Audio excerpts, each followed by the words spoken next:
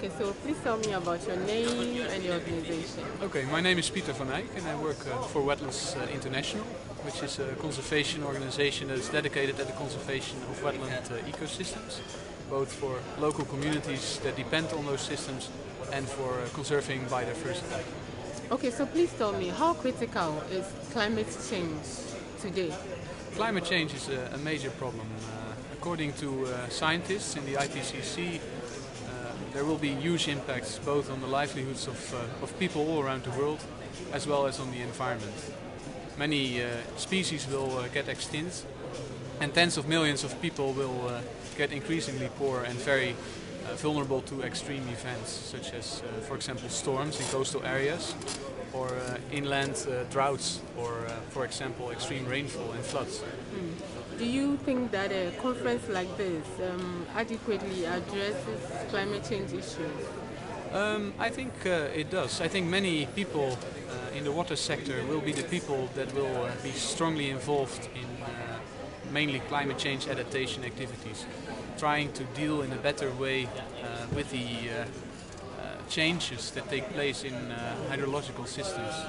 And uh, I think the experts that have real on-the-ground experience, they will be the people that ultimately uh, will be able uh, to make sure that we create a world that's more resilient to climate change.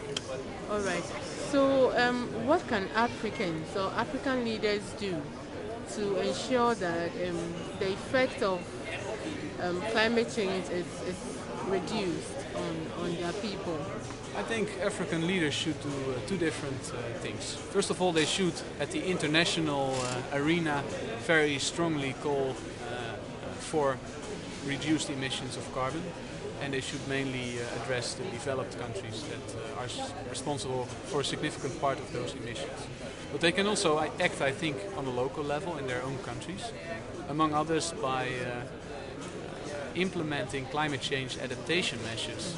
So measures that help uh, people and nature to uh, become more resilient to climate change, uh, to ensure that these measures are being uh, undertaken in a sustainable way and that they consider environmental requirements and uh, protection and restoration of environmental services that are provided by ecosystems.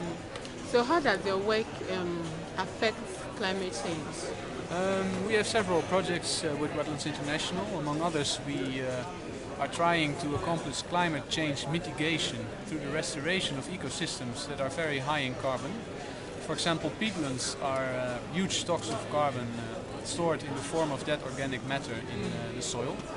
And as a result of uh, disturbance by people, much of that carbon is being emitted once those peatlands are being drained. And among others, we have pro- projects in which we try to restore those peatlands and thereby maintain the sequestration potential of these uh, ecosystems. On climate change adaptation, we are also very active. And through field projects and policy work, we first of all try to convince local uh, policymakers to consider the importance of ecosystems in their adaptation strategies.